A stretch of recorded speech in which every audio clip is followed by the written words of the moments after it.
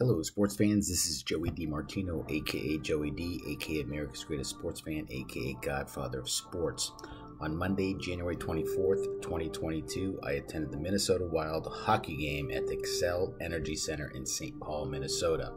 This was my 1049th game watching a different team at a different sports venue.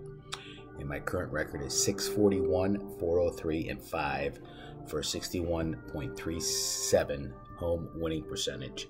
The Wild beat the Montreal Canadiens 8 2 in front of 18,104 fans. Wild, coached by Dean Evason, was led by Nico Sturm with a goal and two assists. Matt Brody, Connor Dewar, Kevin Fiala, Jared Spurgeon, Matt Zuccarello all added a goal and assist apiece. And Jamie Benn and Marcus Foligno added a goal apiece. Uh, Canadiens coached by Dominique Ducharme were led by Mike Hoffman and Rem Pitlick with a goal apiece. Officials of the game were Dan O'Rourke, Tom Chmielewski, Brandon Gawryletz, Gawryletz and Vaughn Rody.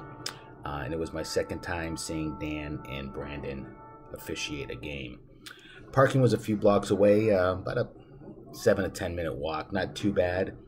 Uh, food was great there, and the Xcel Center is actually a great venue to watch a hockey game. So, congrats to Minnesota Wild and the Xcel Energy Center for providing a great um, fan experience. So, thank you, sports fans. Have a blessed day, and please keep our first responders and military in your thoughts and prayers.